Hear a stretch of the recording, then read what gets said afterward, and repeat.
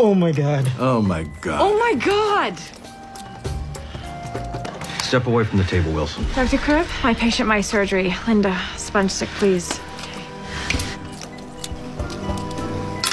Okay, we're gonna need to change out the contaminated instruments for new ones. We'll need uh, antibiotic solution, several liters. And Dr. Webber, please remove your students from my OR. If you don't mind, sir. Indeed, Dr. Wilson. Let's go out, out. Let's go out, out, out.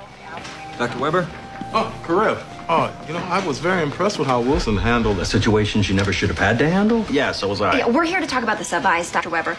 The utterly inept. Bottom of the barrel med students you keep recklessly hauling around the hospital. Oh. oh. So you two think you are any better than them? Karev, you scraped in by the skin of your teeth thanks to an essay you wrote on testicular cancer that